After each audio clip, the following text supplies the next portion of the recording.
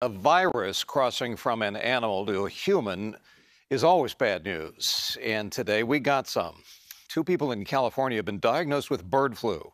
Max Darrow has the reaction from an infectious disease expert.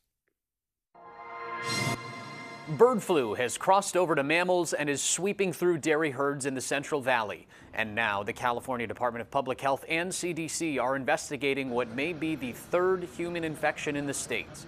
Dr. Peter Chin Hong is an infectious disease expert at UCSF. The good side is that it's very low risk still to the general public. The bad side is that every time there's a transmission event, that's a chance for the virus to evolve. And the reason why we are worried about bird flu is that humans haven't really seen a lot of it.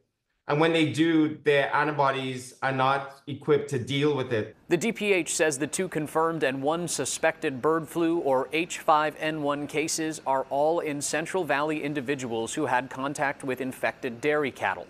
As of the last week of September, the California Department of Food and Agriculture said bird flu has infected 34 herds in the Central Valley.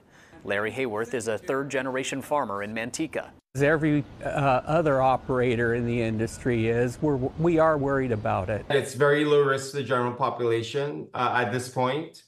But in the big picture, we have to worry about emerging pandemics and be very curious but not panic by it.